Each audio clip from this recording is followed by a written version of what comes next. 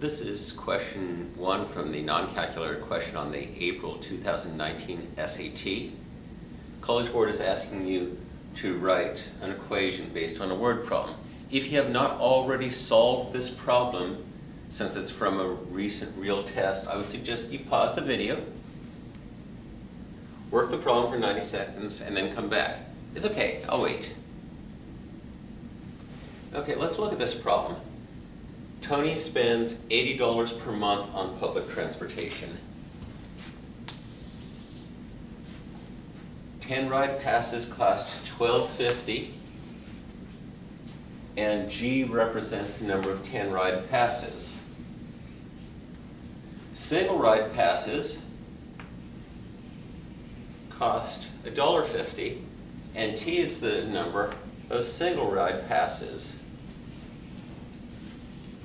If I have a highlighter, I like to highlight relevant points in similar colors. If I don't have a highlight, I like to have underlined styles where I know, oh, the ones with the square corners go together, 10 ride passes, and the number of 10 ride passes, which is G, and then over here single ride passes, and T is the number of single ride passes. That helps me to pair up the correct numbers when I get to writing the equation, because it's not obvious why G would be 10 ride passes and T would be single ride passes. And since the total spent is $80 and the total spent is G times the cost of 10 ride passes, so the number of 10 ride passes times their individual cost, plus the number of single ride passes times the cost of each of those. Those two quantities should be equal. So $80 is equal to T times $1.50 plus G times 12.50.